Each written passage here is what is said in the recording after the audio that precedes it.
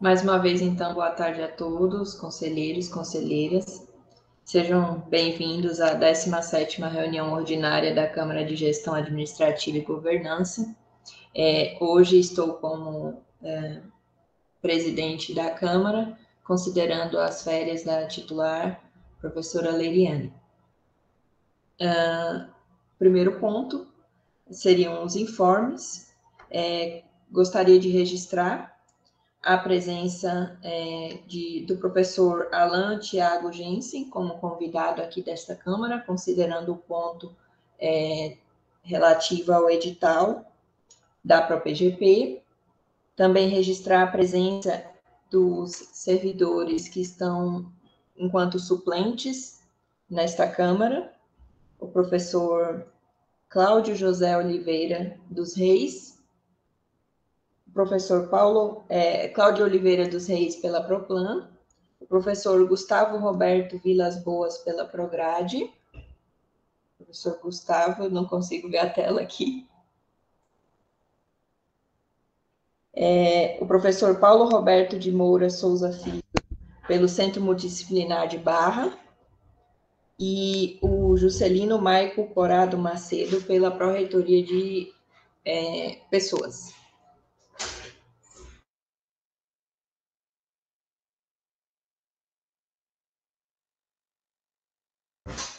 Consulto aos demais é, conselheiros se tem mais algum informe.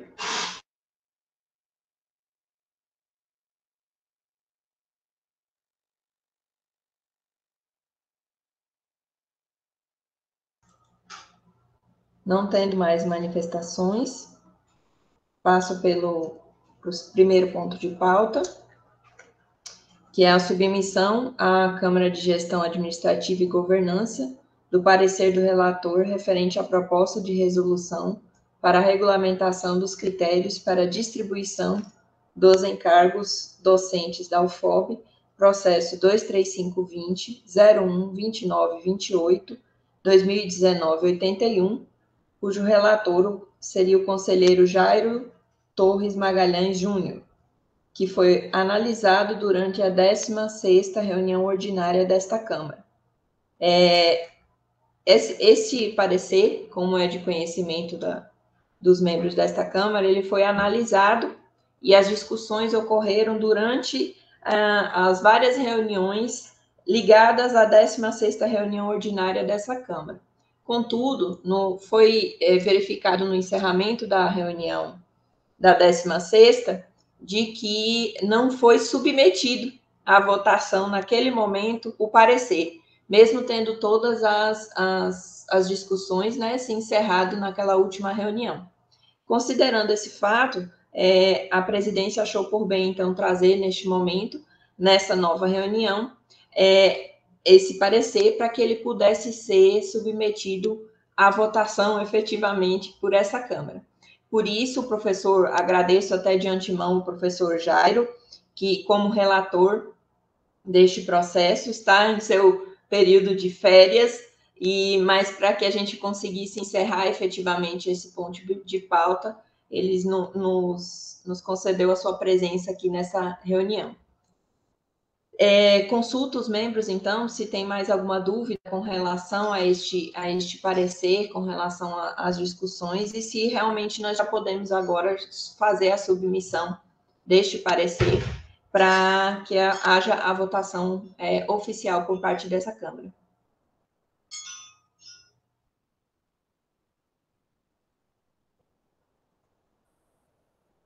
Não havendo manifestações, submeto, então, o parecer do relator Jairo Torres Magalhães Júnior, referente à proposta de resolução para regulamentação dos critérios para a distribuição dos encargos docentes da UFOB processo 23520 01 29 28 2019 81.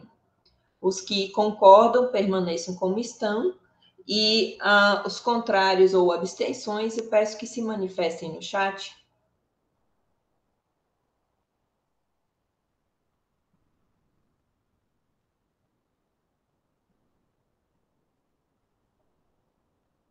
Não havendo manifestações, é, declaro como uh, aprovado por unanimidade o referido parecer.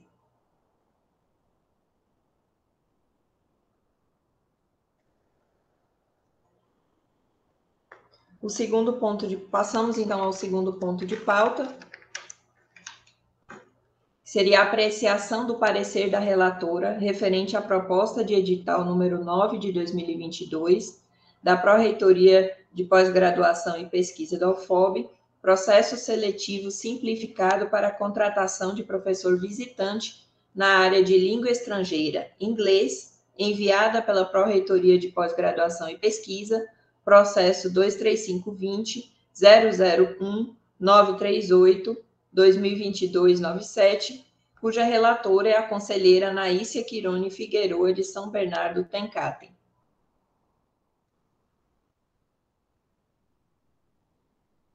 Neste momento, eu passo então a palavra à conselheira. Obrigada, Jaque. Boa tarde a todos e todas. Eu vou aqui compartilhar a tela rapidinho.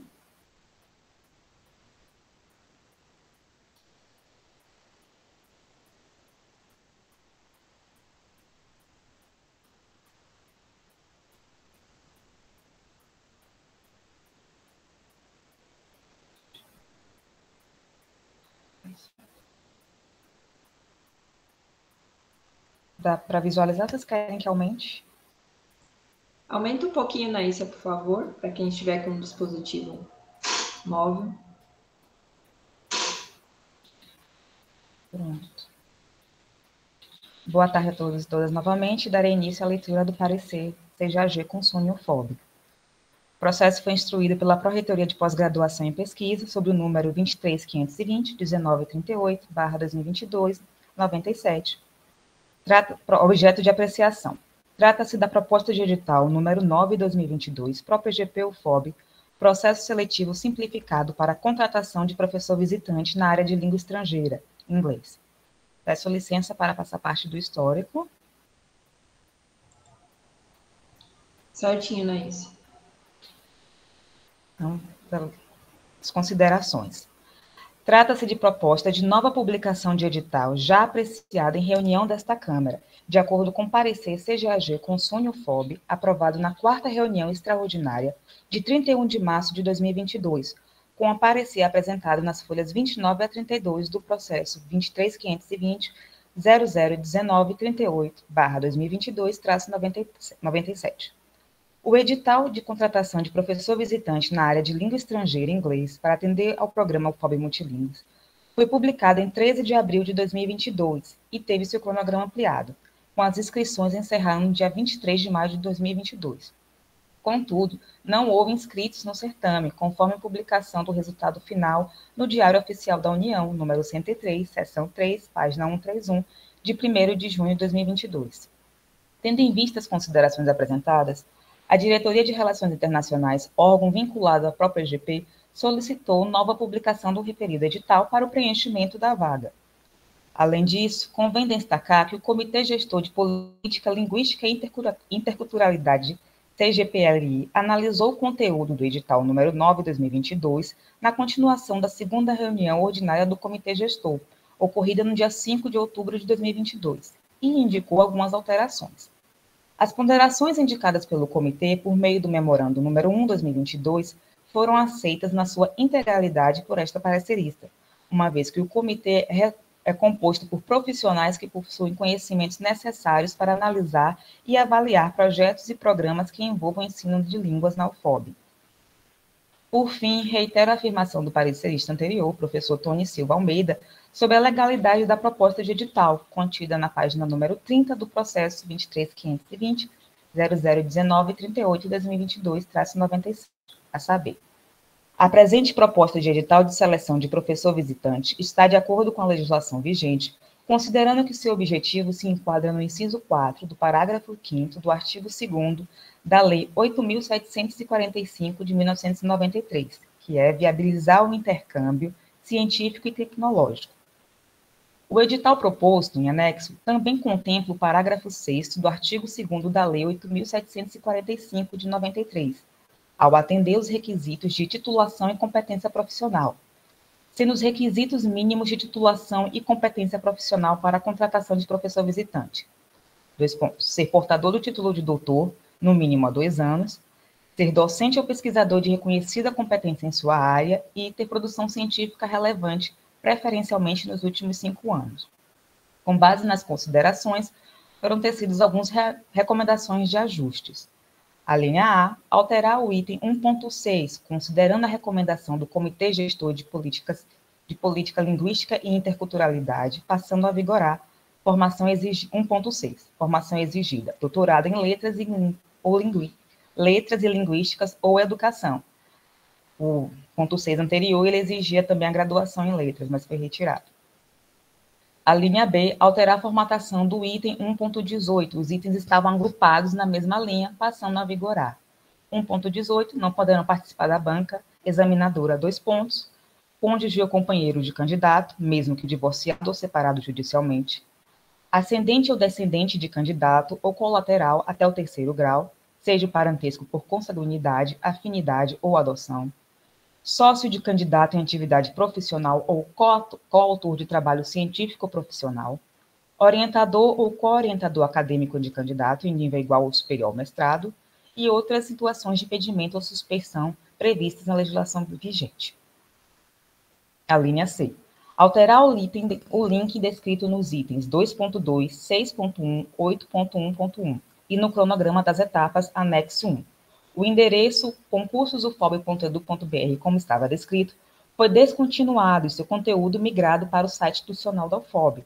Então, passa a vigorar. Item 2.2. As inscrições serão feitas exclusivamente via internet pelo endereço https dois pontos, barra, barra, ufob.edu.br, barra, quero ser ufob, barra, concurso, no quadro docentes, selecionando o link do concurso de interesse e a opção de inscrição.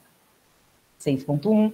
O candidato que desejar interpor recurso contra indeferimento da inscrição ou classificação preliminar deverá fazê-lo por meio de formulário eletrônico específico no site https barra ufob.edu.br quero ser ufob barra concurso no quadro docentes selecionando o link do concurso de interesse e a opção formulário de recurso, no prazo previsto no anexo 1. Item 8.1.1. Caso haja prorrogação no período de inscrição, todos os demais prazos poderão ser alterados, sendo que os mesmos serão divulgados no site https barra dois pontos barra barra fob.odum.br quero ser barra quero ser o fob barra concursos no quadro docentes selecionando o link do concurso de interesse e a opção de retificação. Aqui é o anexo, o cronograma das etapas, com o novo, com o site correto da UFOB. O site anterior, ele, foi, ele pode ser desligado a qualquer momento, por isso que a gente pede para usar o novo. A linha D, inserir no item 3.1 a linha C, considerando a recomendação do Comitê Gestor de Política Linguística e Interculturalidade e considerando a importância de avaliar a habilidade de comunicação do oral do candidato, passando a vigorar.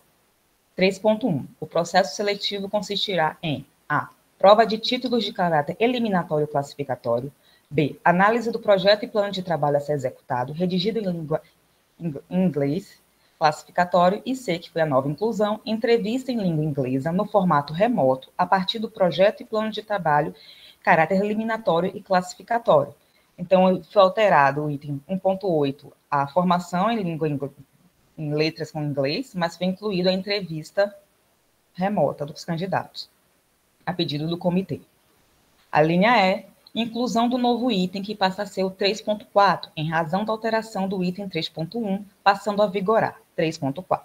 A entrevista versará sobre o desempenho oral na língua inglesa e conhecimento do plano de trabalho apresentado, conforme critérios dispostos no anexo 5. F, a linha F. Alteração da numeração do item antes 3.4 para item 3.5, devido à necessidade de alteração da ordem numérica dos itens, pela inclusão de novo item, passando a vigorar 3.5. As datas das etapas do processo seletivo estão descritas no anexo 1.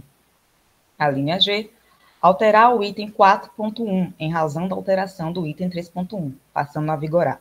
A nota final do candidato será obtida pela média simples, arredondada até duas casas decimais, das notas atribuídas à prova de título, a análise do projeto e plano de pesquisa e entrevista. A linha H, alterar o prazo final da inscrição dos candidatos, descritos no anexo 1, cronograma das etapas, página 70, 74, de 15 de janeiro de 2023 para 13 de janeiro de 2023.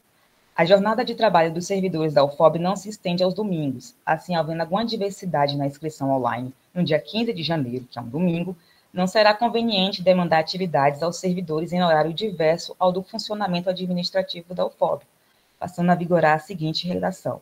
Atividade, inscrição dos candidatos. Prazo, período de 25 de outubro a 13 de janeiro de 2023, que é uma sexta-feira.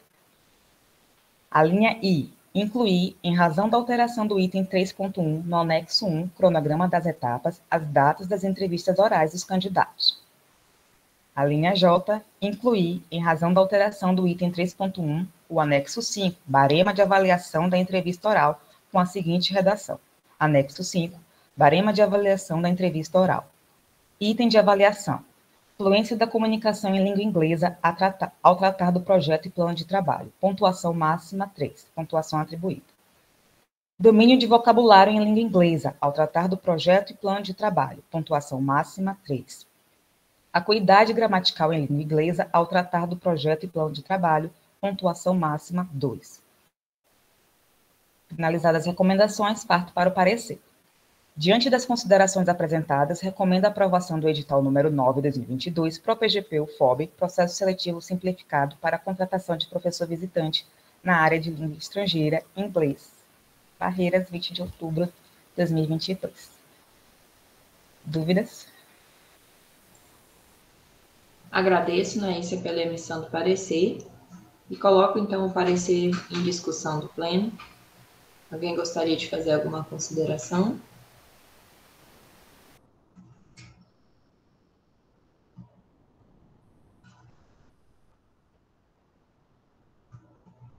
Consulto o professor Alain, que está como nosso convidado aqui na Câmara, é, se, se ele tem alguma consideração a fazer sobre o, o edital. É, olá, pessoal, boa tarde, boa tarde a todos os conselheiros. É, não, só queria agradecer mesmo a Anaísia pelas considerações e acho que ficou bem claro tudo que precisa ser é, é corrigido e inserido para que o edital fique, fique mais de mais fácil compreensão aí, que esteja tudo corretinho. Muito obrigado, não tem nenhuma consideração e nenhuma dúvida, não.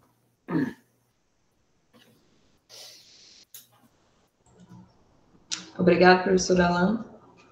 Alguém possui alguma consideração? Como a, a parecerista colocou, é um edital que já passou por essa Câmara, ele está sendo reeditado, passou inclusive por uma, pela, pelo Comitê Linguístico da Universidade, né? Então, ele só vai ser reeditado.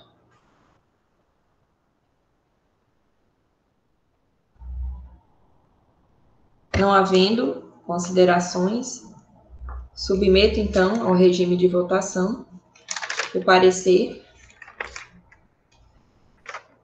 da relatora Naícia Pironi Figueiredo Figueroa de São Bernardo Tencaten, referente ao processo seletivo simplificado para a contratação de professor visitante na área de língua estrangeira e inglês, edital 9 de 2022, ProPGP UFOB. Os que concordam com o referido parecer, por favor, permaneçam como estão. Votos contrários ou abstenções, eu peço que se manifestem pelo chat.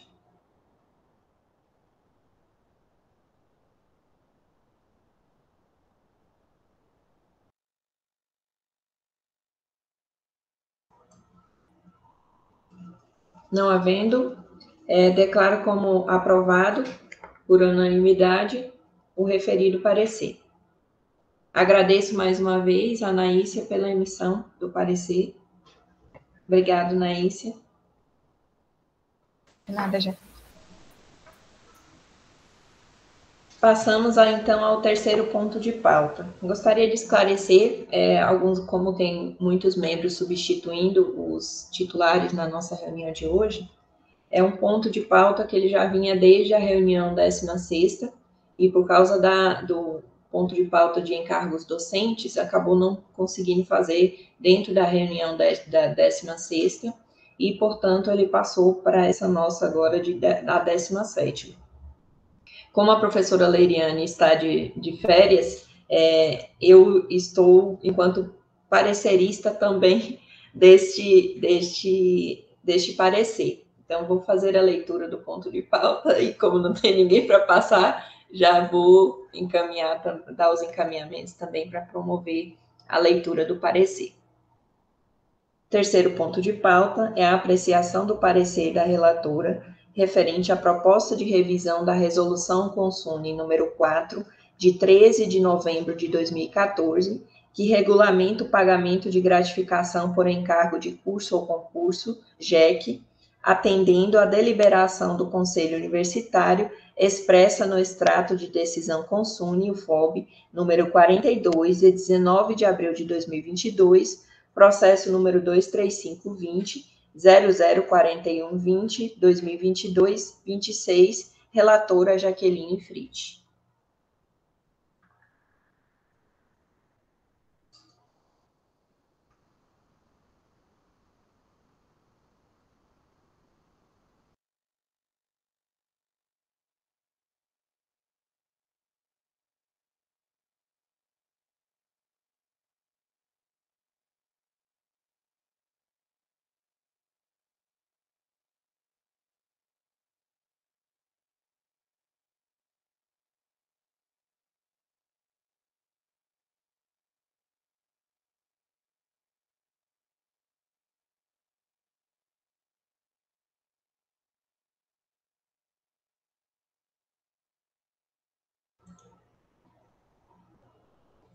Pergunta aos membros se está visível e o tamanho se está ok.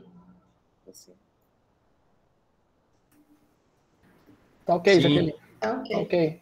Obrigada.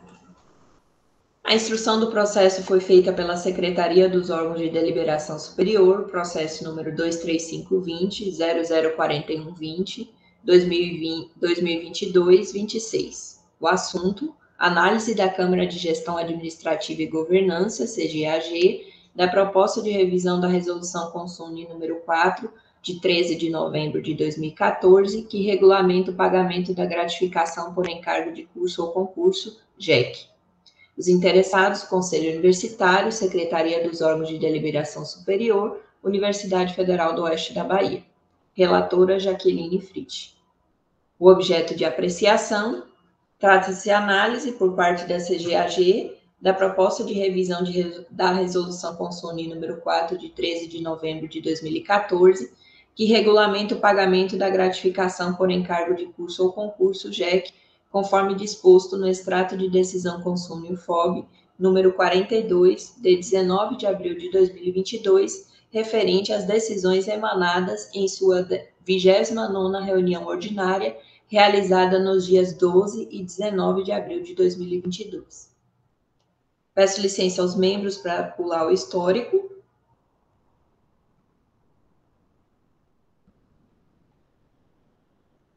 Passando então às considerações.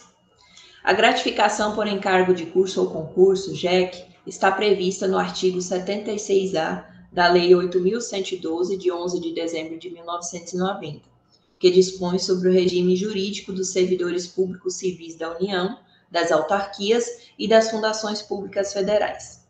A legislação mais recente sobre o tema é o Decreto 11.069, de 10 de maio de 2022, que regulamenta a concessão da gratificação por encargo de curso ou concurso, de que trata o artigo 76A da Lei 8.112, de 11 de dezembro de 1990 e altera o decreto 9739 de 28 de março de 2019, que estabelece as medidas de eficiência organizacional para o cumprimento da administração pública federal direta, autárquica e fundacional.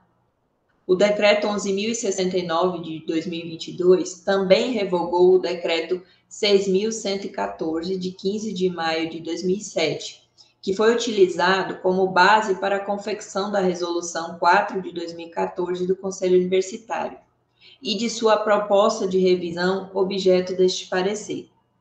Como exposto acima, a Resolução 4 de 2014 do Conselho Universitário, nas folhas 2 a 7, a proposta de revisão da referida resolução, folhas 61 a 67, e a decisão tomada pelo Conselho Universitário em sua décima, é, 29 reunião ordinária, folhas 82 e 89, foram editados antes da publicação e vigência do Decreto 11.069 de 2022. Assim sendo, resta esta parecerista ater-se ao texto original da resolução, número 4 de 2014 do Conselho Universitário, considerar o disposto em sua proposta de revisão e apontar os ajustes necessários ao atendimento do regramento trazido pelo Decreto 11.069 de 2022. O atual decreto, que regulamenta a concessão da JEC, estabelece no seu artigo 6 as seguintes ações aos órgãos ou às entidades executoras: elaborar 1. Um, elaborar tabela de percentuais e valores da JEC, observados os limites estabelecidos no anexo e o disposto no artigo 4 2. Selecionar os servidores de acordo com a atividade a ser realizada. 3. Solicitar a liberação do servidor ao dirigente máximo do órgão ou da entidade em exercício, ou a quem o dirigente delegar, após a devida anuência da chefia imediata do servidor, quando da realização das atividades de que trata este decreto ocorrer durante o horário de trabalho. E 4 efetuar o pagamento da JEC relativa às horas trabalhadas ou a descentralização do crédito. Considerando o disposto nos referidos incisos, entendo ser cabível a regulamentação dos mesmos por parte da UFOB, atendendo ainda o disposto no artigo 4 Artigo 4 a JEC será paga ao servidor por hora trabalhada, considerando a natureza e a complexidade da atividade a ser desenvolvida. Parágrafo 1. Quando for o caso, a formação acadêmica ou a experiência profissional necessária para exercer a atividade será definida pelos órgãos ou pelas entidades observados os limites estabelecidos no anexo. Parágrafo 2. Na hipótese de que trata o parágrafo 1, a comprovação de formação acadêmica ou de experiência será feita pelo servidor interessado e anexada ao processo administrativo. Parágrafo 3 o órgão central do Sistema de Pessoal Civil da Administração Federal, CIPEC, divulgará o valor mais, o valor do maior vencimento básico da administração pública federal para fins de cálculos do valor a ser pago a título de JEC. Além disso, em se tratando de uma revisão de ato normativo, cabe a análise e atendimento às determinações aduzidas pelo Decreto 10.139 de 28 de novembro de 2019 e suas respectivas alterações, no tocante à redação dos atos normativos inferiores a decreto, no âmbito da administração pública direta e indireta, autárquica, e fundacional. Cabe ressaltar ainda que a referida minuta ficou à disposição para contribuições da comunidade acadêmica até o dia 28 de 6 de 2022, Contudo, não foi registrada nenhuma contribuição no período. Passo então às recomendações de ajustes. Recomendo fazer a seguinte alteração no texto da Resolução 4 de 2014 do Conselho Universitário. A. Adequar a epígrafe à grafia e numeração atual das resoluções da Câmara de Gestão Administrativa e Governança. B alterar o texto da emenda, considerando o disposto no Decreto 11.069 de 2022, passando a vigorar com a seguinte redação: Regulamenta a concessão da gratificação por encargo de curso ou concurso JEC no âmbito da Universidade Federal do Oeste da Bahia, UFOB. C. Alterar o texto do preâmbulo, considerando a revogação do Decreto 6.000 114 de 2007 e a promulgação do decreto 11.069 de 2022 e a competência da CGAG estabelecida pelo Regimento Geral da UFOB, passando a vigorar com a seguinte redação: A Câmara de Gestão Administrativa e Governança, CGAG, assessora ao Conselho Universitário da Universidade Federal do Oeste da Bahia, no uso de suas atribuições tendo em vista o disposto no Decreto 11.069, de 10 de maio de 2022, que regulamenta a concessão de gratificação por encargo de curso ou concurso, de que trata o artigo 76-A da Lei 8.112, de 11 de dezembro de 1990, resolve. Letra D. Alterar o texto do artigo 1 considerando o disposto no Decreto 11.069 de 2022, que regulamenta a concessão de JEC, passando a vigorar com a seguinte redação Artigo 1. Esta resolução estabelece critérios e percentuais para a concessão da gratificação por encargo de curso ou concurso, JEC, no âmbito da Universidade Federal do Oeste da Bahia. Letra E. Alterar o texto do artigo 2 considerando a citação dos incisos disposta no artigo 2 do Decreto 11.069 de 2022, passando a vigorar com a seguinte redação. Artigo 2 a JEC é devida ao servidor pelo desempenho eventual de, das seguintes atividades: 1. Um, atuar como instrutor em curso de formação, de desenvolvimento ou de treinamento regularmente instituído no âmbito da UFOB. 2. Participar de banca examinadora ou de comissão para exames orais para análise curricular, para correção de provas discursivas, para elaboração de questões de provas ou para o julgamento de recursos interpostos por candidatos. 3. Participar da logística de preparação e de realização de concurso público que envolva atividades de planejamento, coordenação, supervisão, execução e avaliação de resultado, quando tais atividades não estiverem incluídas entre as suas atribuições permanentes. Ou, quatro, participar da aplicação, da fiscalização ou da avaliação de provas de exame vestibular ou de concurso público ou supervisionar essas atividades. Parágrafo único. Para fins do disposto no inciso 1 do caput, considera-se como instrutoria o exercício das seguintes atividades, na modalidade presencial ou à distância: 1. Um, ministração de aulas. 2. Desenho instrucional. 3. Orientação de trabalho de conclusão de curso de pós-graduação. 4. Tutoria. 5. Monitoria. 6. Orientação para a liderança. E 7. Mentoria. Letra F.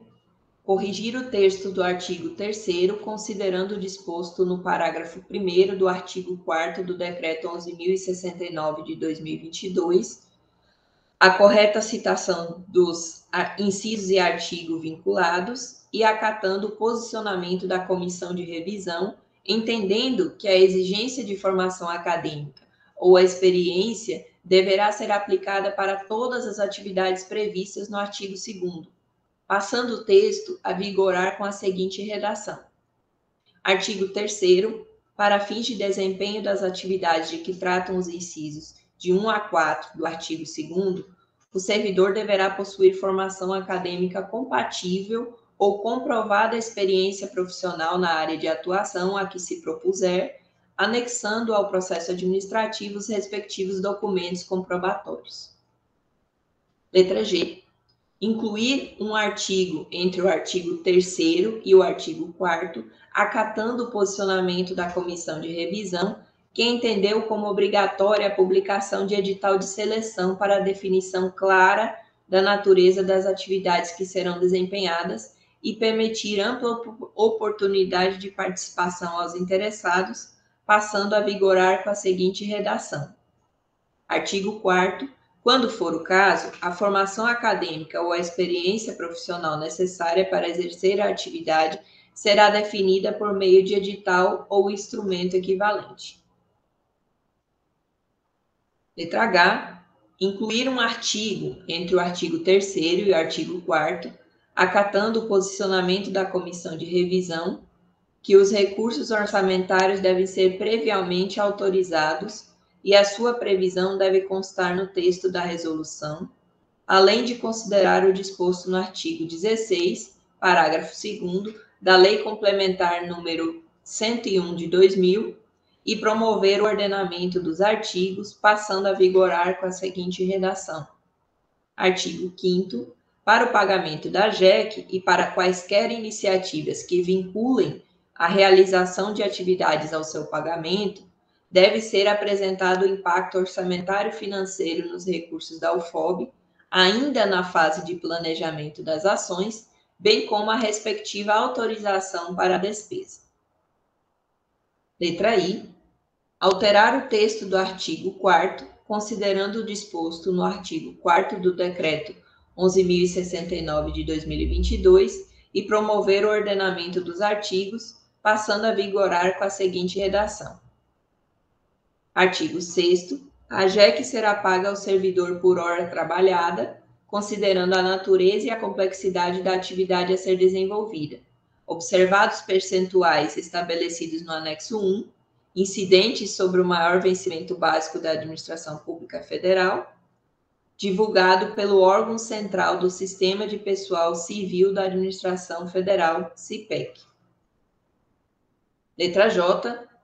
Alterar o texto do artigo 5 e acrescentar o parágrafo único, considerando o disposto no artigo 8 do Decreto número 11.069 de 2022, além de promover o ordenamento dos artigos, passando a vigorar com a seguinte redação.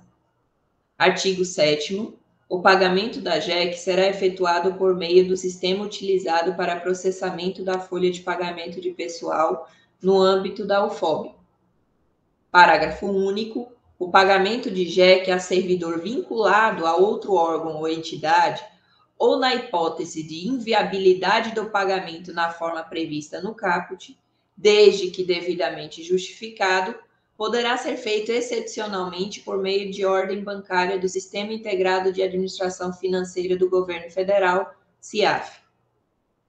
Letra K. Alterar o artigo 6 acatando o posicionamento da comissão de revisão, que sugeriu a retirada do limite mínimo para pagamento de JEC, visando evitar discrepâncias sobre a retribuição das atividades desenvolvidas, além de promover o ordenamento dos artigos passando a vigorar com a seguinte redação.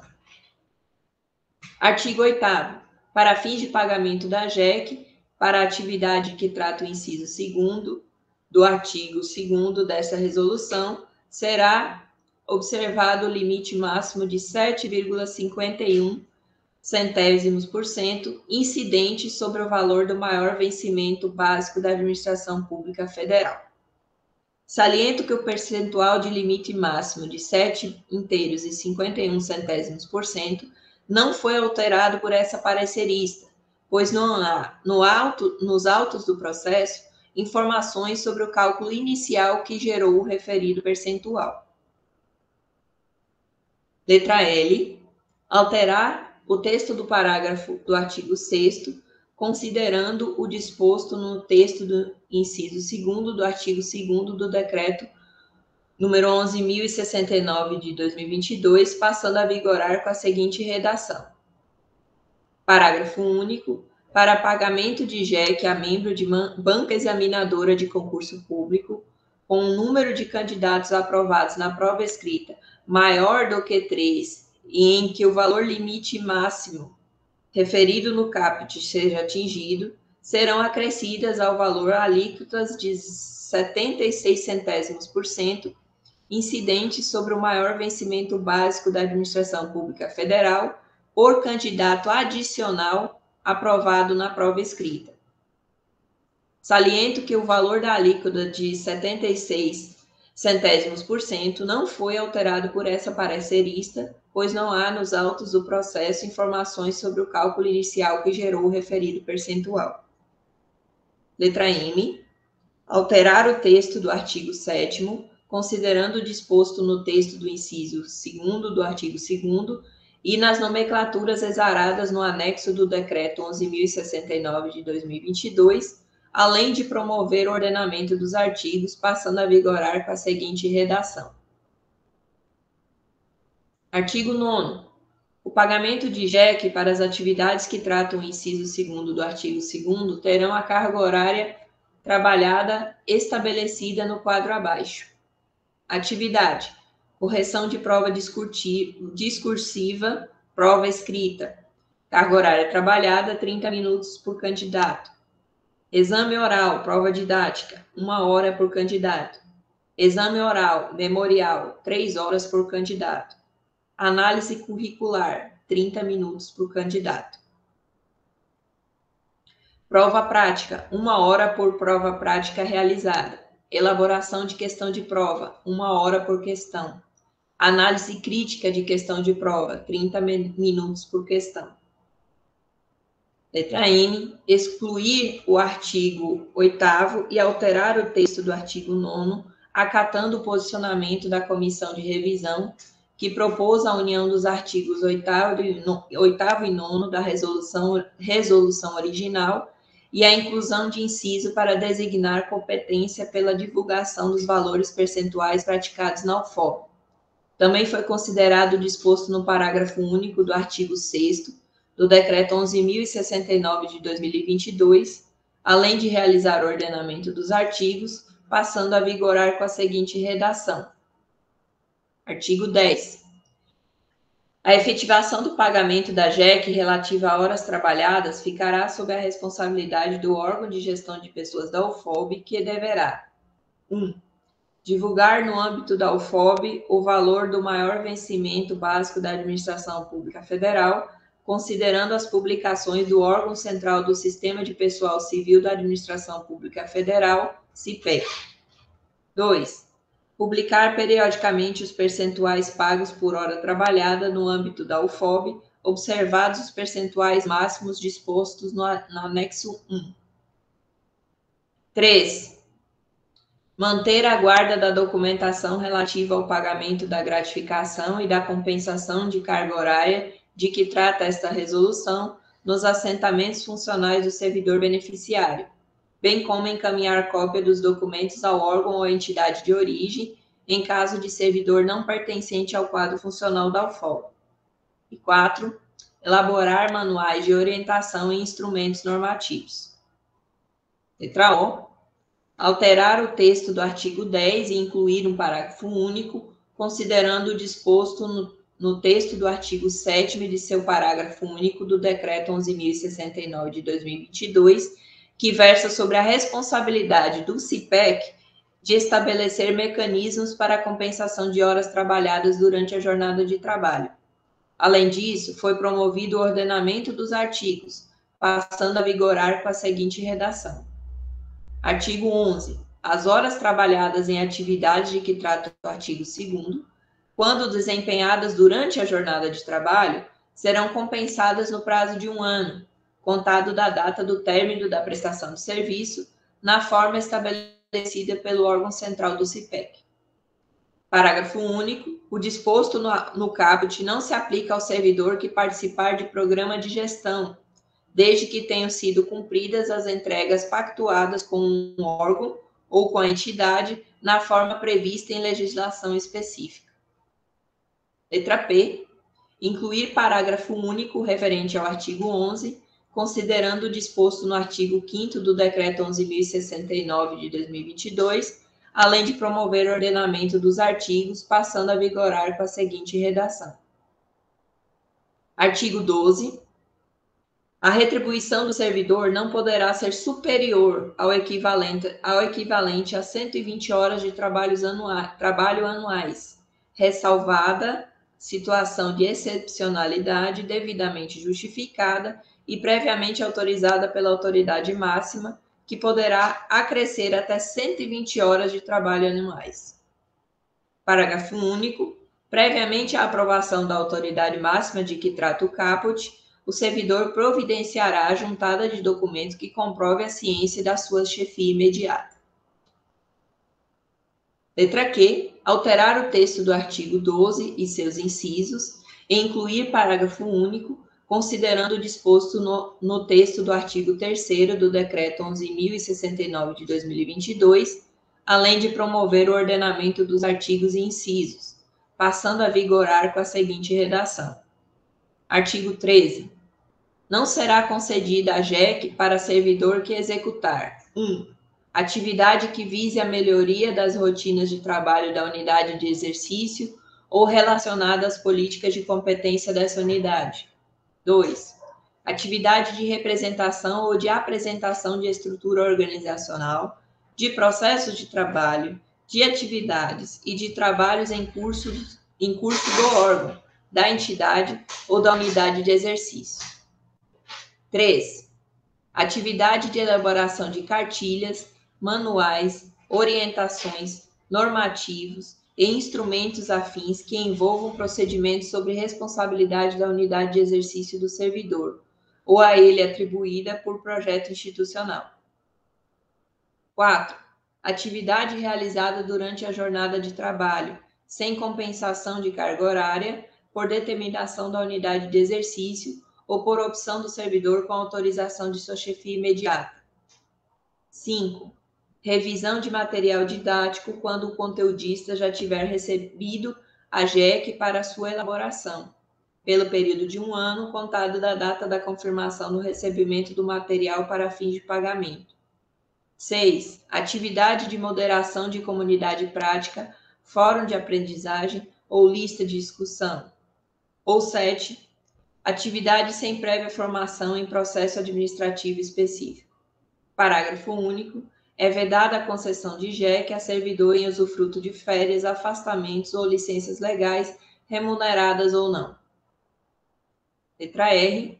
Alterar a numeração do artigo 13, considerando a necessidade de promover o ordenamento dos artigos, passando a vigorar com a seguinte redação: Artigo 14. É vedada qualquer incorporação da gratificação a que se refere essa resolução ao vencimento ou salário para qualquer efeito, inclusive para cálculo de proventos de aposentadoria. S. Alterar o texto do artigo 14, considerando a competência da CGAG para análise e deliberação sobre o assunto dessa resolução, além de promover o ordenamento dos artigos, passando a vigorar com a seguinte redação. Artigo 15. Os casos omissos serão examinados pela Câmara de Gestão Administrativa e Governança. Letra T.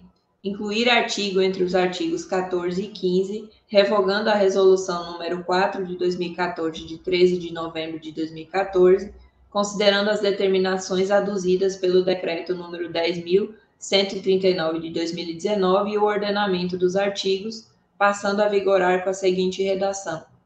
Artigo 16. Fica revogada a resolução consune número 4 de 13 de novembro de 2014 que regulamenta o pagamento da gratificação por encargo de concurso, de curso ou concurso. Letra U. Alterar o texto do artigo 15, considerando a necessidade de estabelecer, estabelecer a vigência da resolução de acordo com o estabelecido pelo Decreto 10.139 de 2019, passando a vigorar com a seguinte redação. Artigo 17. Essa resolução entra em vigor em na data de aprovação. V. Alterar o texto do quadro 1 do anexo 1, considerando o disposto no decreto 11.069 de 2022, com a inclusão de atividades, subtipo de atividades e formação acadêmica ou experiência comprovada necessária para atividade. Os percentuais dispostos no quadro foram calculados considerando 20% do percentual máximo aplicável disponibilizado pelo referido decreto. O texto passa a vigorar com a seguinte redação: Quadro 1. Percentuais pagos por hora trabalhada em atividade de instrutoria desenvolvidas em curso de formação, de desenvolvimento ou de treinamento regularmente instituído no âmbito da UFOB, conforme inciso 1 do artigo 2.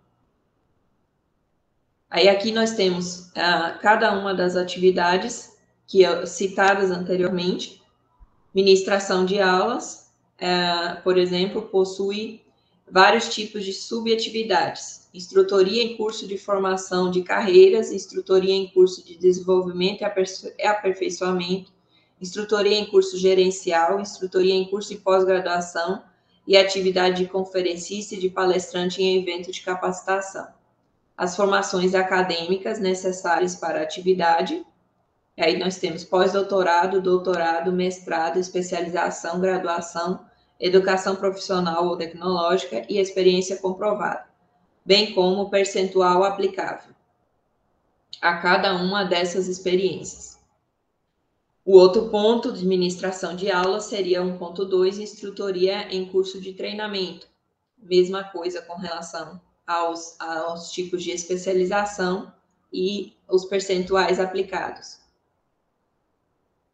Uh, o segundo uh, seria desenho instrucional, cujo subitem nós temos elaboração de material multimídia para curso à distância, com as suas referidas é, especificações, elaboração de material didático, coordenação técnica e pedagógica. Outro item seria a orientação de trabalho de conclusão de curso de pós-graduação, com apenas pós-doutorado, doutorado, mestrado e especialização. Quarto seria a tutoria, com pós-doutorado, doutorado, mestrado, especialização, graduação e experiência comprovada. Monitoria, pós-doutorado, doutorado, mestrado, especialização, graduação, educação profissional ou tecnológica e experiência comprovada. Orientação para a liderança, pós-doutorado, doutorado, mestrado, especialização, graduação, educação profissional ou tecnológica e experiência comprovada. Mentoria, mesma coisa.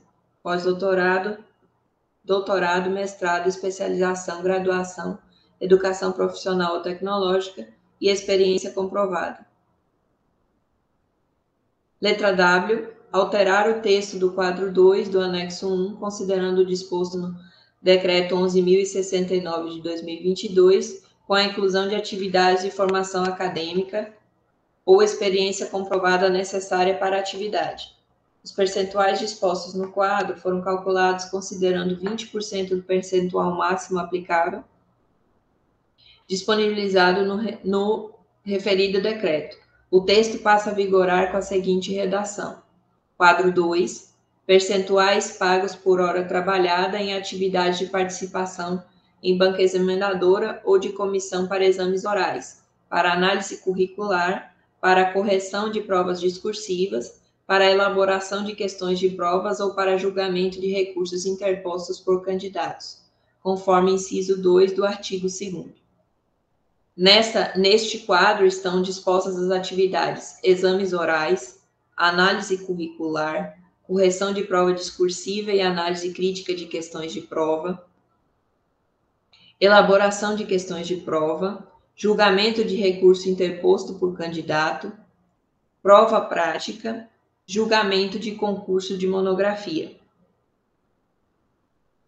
Letra X. Alterar o texto do quadro 3 do anexo 1, considerando o disposto do decreto número 11.069 de 2022 e a inclusão de atividades, os percentuais dispostos no quadro foram calculados considerando 20% do percentual máximo aplicável disponibilizado pelo referido decreto. O texto passa a vigorar com a seguinte redação: Quadro 3. Percentuais pagos por hora trabalhada em atividade de logística de preparação e de realização de concurso público, que envolva atividade de planejamento, coordenação, supervisão, execução e avaliação de resultado quando tais atividades não estiverem incluídas entre suas atribuições permanentes, conforme inciso 3 do artigo 2 Aí nós temos as atividades de planejamento, coordenação, supervisão, execução e avaliação de resultado, cada um com seu percentual aplicável. Letra Y, alterar o texto do quadro 4 do anexo 1, considerando o disposto no decreto 11.069 de 2022 os percentuais dispostos no quadro foram calculados considerando 20% do percentual máximo aplicável disponibilizado pelo referido decreto, e o texto passa a vigorar com a seguinte redação: Quadro 4, percentuais pagos por hora trabalhada em atividade de aplicação, fiscalização ou avaliação de provas de exame vestibular ou de concurso público, ou supervisionar essas atividades conforme inciso 4 do artigo 2 as atividades são supervisão, fiscalização e aplicação, e os percentuais aplicáveis de cada uma delas. Letra Z. Excluir do anexo 2 termo de compromisso, considerando o artigo 7 do Decreto 11.069 de 2022, onde se lê que as horas trabalhadas em atividades passíveis de concessão de JEC, quando desempenhadas durante a jornada de trabalho, serão compensadas no prazo de um ano, contado da data do término da prestação do serviço, na forma estabelecida pelo órgão central do CIPEC. A. Promover as correções na formatação e disposição dos artigos e incisos em atendimento às determinações aduzidas pelo Decreto 10.139, de 28 de novembro de 2019. O parecer, diante das considerações apresentadas e do atendimento às indicações, recomenda a aprovação da alteração da Resolução Consune número 4, de 13 de novembro de 2014, tendo sido considerada a proposta de revisão encaminhada pela comissão constituída pela portaria número 564 de 2016 do Gabinete da Reitoria, de 21 de novembro de 2016. Barreiras, 17 de agosto de 2022.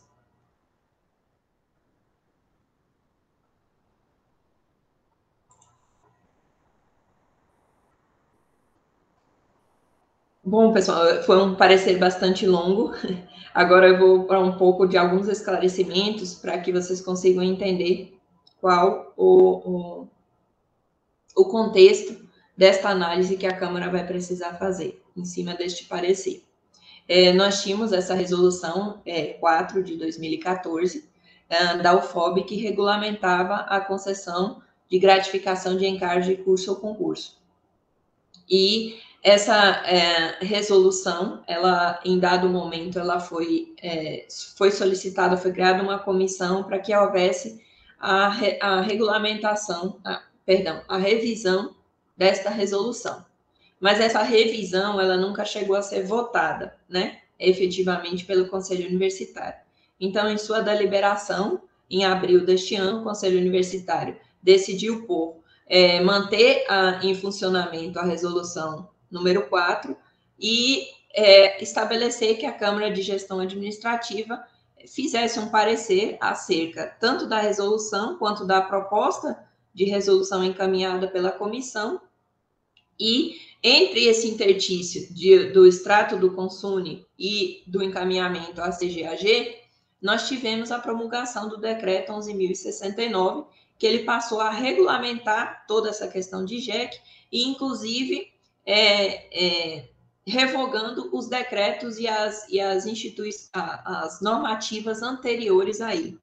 Então, a, essa parecerista utilizou os dados da nossa resolução já existente, a da proposta da comissão, criada em 2016, e também aquilo que o decreto trouxe é, com relação a, principalmente, os percentuais e uma maior definição das atividades que seriam passíveis de pagamento de JEC.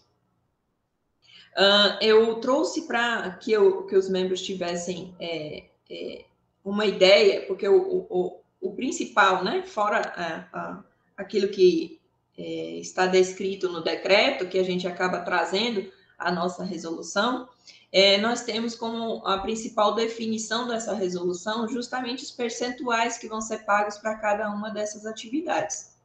Aí eu, eu a título de, de ilustração, para demonstrar para os senhores, eu peço, peço permissão aqui para é, colocar uma planilha de cálculo, para pelo menos que a gente tivesse uma ideia de quanto custaria, por exemplo, cada uma dessas uh, atividades, né?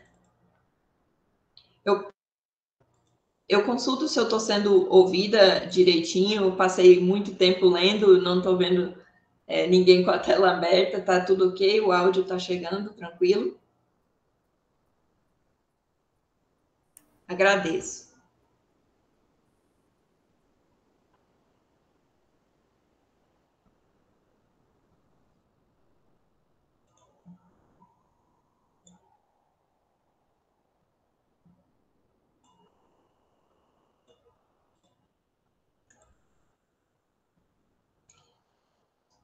Conseguem visualizar, pessoal, essa tabela de Excel? Sim. Pronto. Essa tabela ela foi criada na época, inclusive pela própria Proplan, para que a gente conseguisse definir, por exemplo, é, quanto custaria, é, de, principalmente a, a, a GEC paga, por exemplo, para um membro participante de banca de concurso, né? De professores, é, para que a gente tivesse uma ideia de quanto custaria. Então, essa, essa tabela, ela já existe, ela já, já era instituída dentro de um manual da ProPlan para o pagamento de GEC.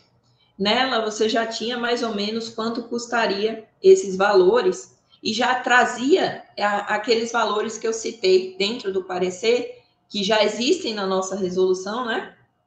Que é de você colocar é, um incidente sobre o limite, um teto máximo incidente e a alíquota também incidente correspondente ao quantitativo de é, participantes, né, de candidatos, por exemplo, a serem analisados durante a fase de concurso. É, neste momento, até a última, a última portaria, a portaria que se encontrava vigente no momento deste parecer, com relação ao teto máximo, né, o maior vencimento básico da administração pública federal, ele, está, ele, ele estava vigente por meio da portaria 24.839, de 9 de dezembro de 2020, e é de R$ 27.303,62 centavos. É este valor que ele é utilizado para calcular os percentuais de pagamento de, de JEC. Para que os senhores consigam entender como é que é, eu é, cheguei ao percentual de 20%, o que, que significa esses percentuais que estão dentro da, da, do parecer, eu vou abrir mais uma, uma tabela aqui, onde eu já jogo justamente os valores do decreto, previstos no decreto, e também os valores considerando 20% deste valor do decreto. Isso porque esse valor de 27.303 é o maior da administração pública federal, mas não é o maior teto da UFOB, infelizmente, né? Mas é, é, é o da administração pública federal, não é o maior teto da UFOB.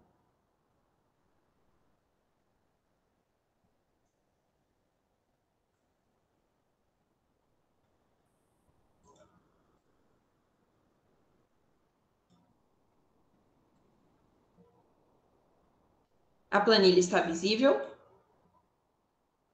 Sim. Pronto. Aqui eu peguei exatamente o quadro do decreto.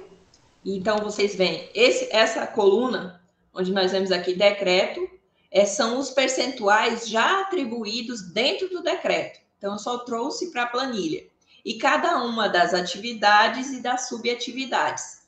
E o decreto estabelece que cada uma, é, além da subatividade, cada é, escolaridade, ela teria um percentual a ser aplicado daqueles 27 mil e pouquinho que eu falei para vocês anteriormente. Então, pegando 20% desse percentual do decreto, nós temos, por exemplo, se houvesse. Só um instantinho, deixa eu beber água. Se nós tivéssemos uma atividade de instrutor, instrutoria em curso de formação de carreiras, estes valores, considerando o valor atual, o maior valor atual da administração pública federal, o valor da hora pago a o servidor que faria essa atividade seria de R$ 80,27. Isso para um pós-doutor, um doutor e um mestrando, um mestrado, um mestre, perdão. Para cada da, dos níveis de escolaridade, você teria o pagamento é, desses valores de hora, considerando 20% do decreto. Vou pegar um aqui que fica mais fácil da gente verificar, por exemplo, quando a gente fala de concursos, né? Que o maior, a maior quantidade de, de pagamentos de JEC dentro da, da UFOB, por meio dessa resolução, ele era justamente para é, participação como membro em concursos públicos de docente. Os exames orais, por exemplo, são né, a, a memorial e prova didática. uh, os membros eles receberiam por hora R$ 74,81, considerando os percentuais do, do decreto, considerando 20% dos percentuais do decreto e o valor atual da uh, maior vencimento da administração pública federal. É, análise curricular, por exemplo, um pós-doutor ou um doutor, ele seria, ele receberia 43,69. Então, essas junções de horas jogadas naquela planilha já estabelecida pela Proplan, você teria o cálculo de quanto custaria é, para a universidade a participação daquele membro da banca examinadora de um concurso público. E assim por diante. Nós teríamos, por exemplo, outro exemplo, é, quando se trata de atividades, por exemplo, de concurso de técnico, né? Que faz tempo que a gente não tem, mas também já tem a previsão na JEC. De acordo com a atividade realizada pelo servidor, ele teria o valor, teria o, o percentual estabelecido pela nossa resolução e o valor por hora que ele receberia, é, guardadas, claro, as, as peculiaridades descritas no decreto, né? Que é se é feito durante o, o horário de trabalho ou não. Bom, pessoal, eu tentei é, demonstrar, foi um parecer, como eu falei, bastante longo, mas as modificações que foram trazidas neste parecer, elas basicamente, elas pegam o que o decreto novo trouxe e a gente faz as alterações. Não foram é, alterações consideráveis, elas, elas, o, a nossa resolução tanto o decreto como a nossa resolução agora, ela ficaria muito mais descritiva em atividades. E é, também relato para os senhores que, da, da, do momento em que eu encaminhei o parecer à Câmara de Gestão, até agora, também já saiu uma instrução normativa é, sobre o pagamento e dando instruções procedimentais de como isso deve acontecer. Isso porque nós estamos passando por uma transformação muito grande na parte de gestão de pessoas, de, em termos de, de, sistemas, né? A gente tem agora o CISREF, é, CISREF funcionando. Então, é, o, o CIPEC ele é responsável por delimitar como essa compensação de horas, caso for necessário, né? É, é, vai ocorrer. Então, a, as instru a instrução normativa, ela vem trazendo é, itens procedimentais e como nós temos tratado os últimos documentos da, da tanto do Consune quando, como das câmaras, a gente tem evitado colocar, é, ou pelo menos a citação, né, de instrumentos menores do que decreto, para evitar que a gente precise ficar fazendo essas modificações constantes nos nossos documentos, eu evitei fazer a citação dessa instrução normativa mas a nossa resolução é, já tem também a previsão de que o órgão de gestão de pessoas da UFOB ela fará a emissão dessas, desses instrumentos normativos pertinentes a como essa, esse pagamento ou como essa compensação de horas vai acontecer caso a JEC seja é, é, concedida ao servidor. Eu passo então ao pleno e também me coloco à disposição para quaisquer esclarecimentos.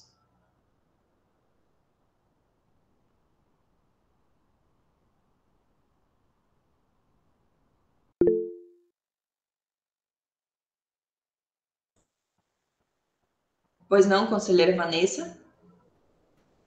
É, boa tarde, Jaqueline, presidente da sessão hoje, é, demais conselheiros e conselheiras. Eu fiquei com uma dúvida em relação ao orçamento. No orçamento que deve ser aprovado ainda esse ano, né, é, é, apreciado aqui na, na própria Câmara, nós já teremos um valor separado da, da JEC para isso ou vai ser incorporado nos centros, porque já que os concursos são feitos dentro dos centros? E daí seria um valor também para a Progep Acredito que lá que vão ser os, os cursos de treinamento para as nossas capacitações. É, um dos, um, em resposta à conselheira Vanessa, um dos tópicos é, apresentados no, no, parecer é de que é, na hora que, eu, que a unidade né, é, apresentar um edital, ela já tem que constar no planejamento desse edital, na execução desse edital, se vai haver o pagamento de JEC e quais os valores estimados para tanto. Esses valores estimados, eles vão passar igualmente com o valor do edital, né? É, por o crivo da, da, da ordenação de despesas, do, do planejamento da universidade, para verificar se há os créditos disponíveis para o pagamento de JEC dentro daquele edital. Por isso que o planejamento prévio desses editais, tanto de concursos quanto né, de cursos é, é, e todas as atividades passíveis de JEC, na hora do, do, planejamento dessas ações, esse planejamento ele precisa ter o aval é, da, da, da, ordenação de despesas e é, da, da disponibilidade orçamentária, né, antes de ser efetivamente colocado em curso. Entendi. Então vai ficar separado, né, esse valor da JEC. Aí passa, depois do planejamento aprovado, é que vai ser utilizado, não vai ser incorporado, entende? Que não vai ser incorporado no, no custeio das unidades. Exatamente. É. Ela já, a unidade já tem que prever, né? Além do valor a ser disponibilizado no edital, ele precisa prever a, a, a JEC e quanto ela estima-se, né? Que ela vai custar dentro daquele daquela ação. É. Outra dúvida que eu tenho é em relação a treinamentos é, que você paga aos servidores, se eles participarem, forem. Eu, eu falo mais especificamente dos tais, e falo até da Protic, né? Porque a gente estava com uma previsão de, de realizar treinamentos, como a gente já tem feito, né? Mas para o ano que vem, com o retorno presencial, a gente retomar mais essa questão. E aí diz que só pode pagar a JEC se tiver um programa regularmente instituído. E aí a questão seria como identificar se faz parte do cargo, se não faz parte, a unidade que vai definir isso. Não sei se alguém tem alguma resposta, porque, por exemplo, é parte de um analista é, dar esse treinamento, ou de fato vai receber JEC, é a unidade que decide, sou eu que decido, ou vai ter alguma unidade de competência para definir isso, que vai fazer essa avaliação. Vanessa, o decreto, ele tentou, ele é mais, como eu falei, ele, é, ele amplia um pouco mais, né? Ele deixa um pouco mais claro quais são as atividades, a listagem também dos anexos ela é um pouco maior do que o decreto anterior. A instrução normativa ela traz algumas, algumas questões, mas nós estamos falando de uma gratificação. E tudo você pode ver que todos os, os praticamente todos os incisos do, do, do decreto, ele fala sobre a autorização da chefia, sobre verificar principalmente se a atividade está sendo realizada dentro do, do, do, do, horário normal de trabalho, se o servidor participa do programa de gestão, por exemplo, e o tipo de atividade é como, como eu falei anteriormente, isso vai depender do, é, do edital, ou do programa, ou do, do plano que foi estabelecido. Este plano ele já precisa prever ou não Agora, essa decisão, se a atividade ela está, se ela é passível ou não, é necessário cada uma delas serem analisadas. Ele é claro quando ele coloca, por exemplo, já vou citar aqui diretamente, onde ele coloca a, a questão de que não pode ser algo que, que é do cotidiano, né? É, ele tem que ser regularmente instituído, como você colocou, né? É, e não pode ser, é, quando ele fala das negativas, não pode ser algo que seja inerente ao trabalho regular do, do servidor. Assim, ó, que as atividades não estiverem incluídas entre suas atribuições permanentes. Entende? Então, ele, ele é mais nesse sentido. Então, vai depender muito do plano, é, do projeto, do edital, a previsão do pagamento de JEC, e aí nessas definições, além de ter essas definições, se, por exemplo, for um edital que vai ter uma ampla é, participação, ainda aquele servidor, mesmo ele se inscrevendo naquele edital, ele precisa ter a anuência da chefia imediata para a participação daquilo. Porque o pagamento de JEC ele está inteiramente ligado a quando você vai fazer a sua, a, a sua participação, né? A, a, tanto a liberação e se for em horário de trabalho, ainda tem a questão da compensação. Não sei se eu consegui ser clara, mas é, é porque ele é muito, ele, apesar dele já demonstrar bastante atividades, o gestor conseguir analisar um pouco ou encaixar melhor as atividades que vão fazer, ele, ele tem essas restrições com relação ao horário que a atividade vai ser prestada, com relação às atividades inerentes já ao, ao, ao servidor ou à categoria que ele, ou, ou ao setor, não é nem a categoria, é onde ele esteja desempenhando as, as suas atividades, entende? Uhum. É, não, acho que ficou claro. A, a, questão, na verdade, fica parecendo que vai ter que ser promovido pela Progep, no caso, tem um programa, para ter esses editais, né? Não tem sentido, então, eu promover na Protic com o meu servidor da Protic e já indicar que ele vai ser, ele não vai receber JEC. Então, é, porque não tem um edital de seleção, não tem isso, não tem como eu encaminhar esse pedido direto. É, acredito que vai ter que realmente ter esse programa ligado ao PDP. Exatamente. Né, com o edital de seleção para, de fato, é, justificar o pagamento dessa JEC. Exato, Vanessa. É, como, como o PDP ele é bastante abrangente, na verdade, e todas as nossas ações de aperfeiçoamento, capacitação, elas precisam estar previstas, né? Mesmo que não sejam desenvolvidas, digamos, pela, pela, pelo órgão de gestão de pessoas, mas elas precisam estar de alguma forma previstas dentro do PDP. E aquelas que não forem de capacitação, treinamento, aperfeiçoamento, cursos em geral, que forem concurso né, de docentes, tanto que a nossa resolução ela traz a especificação mais para concurso docentes, justamente porque era o que a gente fazia um maior número de, de pagamentos de JEC, né? E daí essa parte realmente não não não viu porque fazer nenhum tipo de, de modificação, né?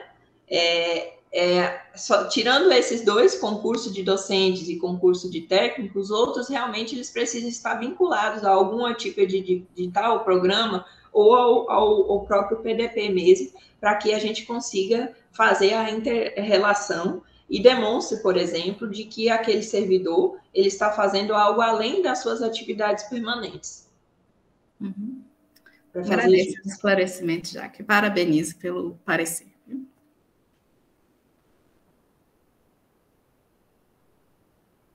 Pergunto aos conselheiros se mais algum, alguém tem alguma consideração.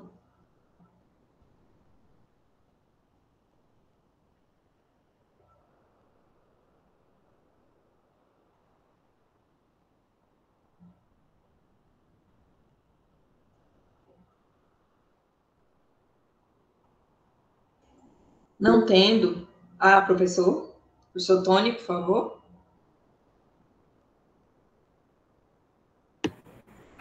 Boa tarde a todos, né? Boa tarde, presidente Jaqueline, exercício.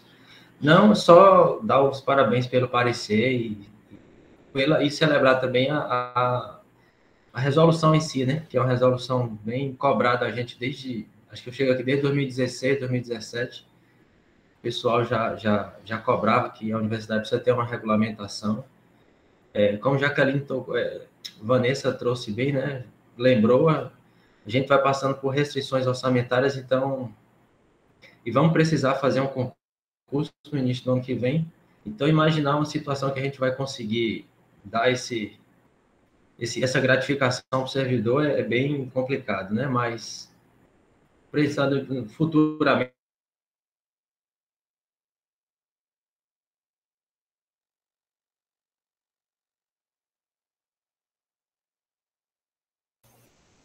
Acho que o Tony travou, né?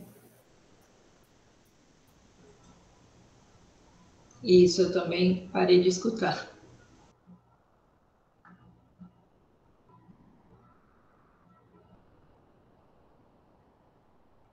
Mais algum conselheiro? Só reforçando, pessoal, que esses índices colocados, por que, que o decreto trabalha com índices? Esses valores eles vão, eles vão variar de acordo com o valor máximo instituído é, do vencimento, maior vencimento básico da administração pública federal. Então, a qualquer momento, eles podem variar os valores. É por isso que nós hoje estamos adotando apenas, o, o decreto adota apenas percentuais, a mesma coisa acontece com a nossa resolução. Esses percentuais, eles vão sempre variar, é, os percentuais se mantêm os mesmos, e o valor efetivo da hora trabalhada vai variar de acordo com o maior vencimento básico da da administração pública federal. Uh, Jaqueline, só para só para eu tirar uma duvidazinha que não ficou claro ainda na minha cabeça. É, então, a adoção dos 20% em relação àquele valor específico do decreto poderia ser diferente no caso da UFOB, é isso? Poderia ser 25 ou não? Isso, eu tentei colocar, professor, como nós já tínhamos esses percentuais definidos na nossa resolução, aí é, e houve, por exemplo, a, se eu não me engano, o valor na época, né, que a nossa resolução foi estabelecida, se eu não me engano, era de cerca de 15 mil e poucos reais o maior vencimento. Então você tinha um valor, né, a menor, digamos assim, né, de, de percentual. Eu tentei colocar mais ou menos o valor é, de, em termos percentuais que já existia na nossa resolução. Então, a, do, do, decreto, dos percentuais do decreto, porque o decreto considera 27 mil e pouco como a, o maior vencimento, uhum. eu trouxe 20% dos percent, do percentual estabelecido pelo decreto para a nossa resolução. Entendi, com o objetivo de tentar manter um valor que padrão ao que já tinha. Exatamente. Entendi. Não, tranquilo. A, a pergunta era só para saber se realmente era um valor que poderia ser alterado, entendeu? Eu não estou nem questionando o 20%, é só para entender mesmo, até porque eu não tenho nem padrão para questionar o 20%, teria que, que ter um estudo mais aprofundado de, de como poderia ser um valor diferente desse. Mas, beleza, tá, tá, tá explicado. Obrigado.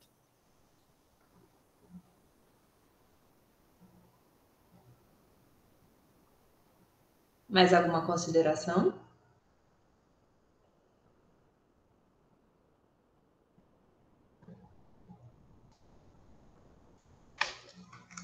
Professor Tony retornou à reunião, professor. O senhor não, não era possível mais lhe ouvir uma certa hora da fala. O senhor gostaria de retornar à fala?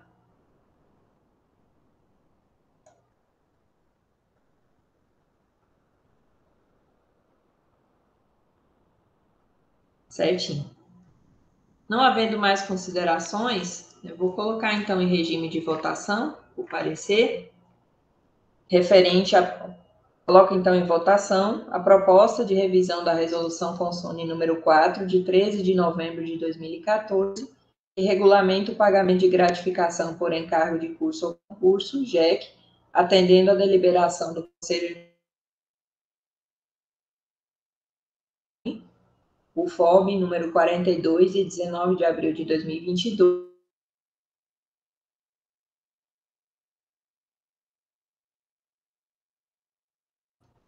os que é, concordam com a aprovação do ou abstenções, por favor, se manifestem no chat.